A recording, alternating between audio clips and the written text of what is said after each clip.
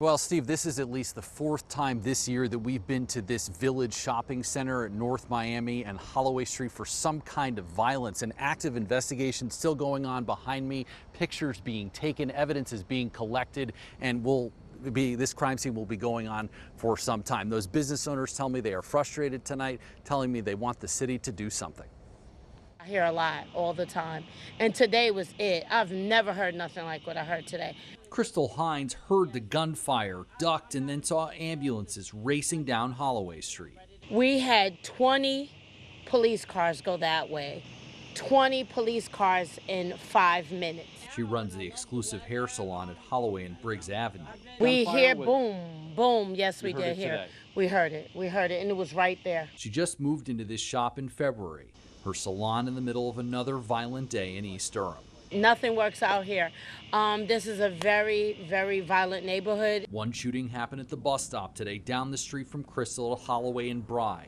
Police found a man lying on the sidewalk and pronounced him dead at this scene. Farther down Holloway, another crime scene and three more people shot. It's always something going on in this neighborhood, and it was in the village. Crime tape covered the parking lot of the Village Shopping Center on North Miami Boulevard. Police say one person died at this scene and two others were taken to the hospital, including a juvenile. Now I don't want to go to check cashing place. Now I don't want to go to McDonald's.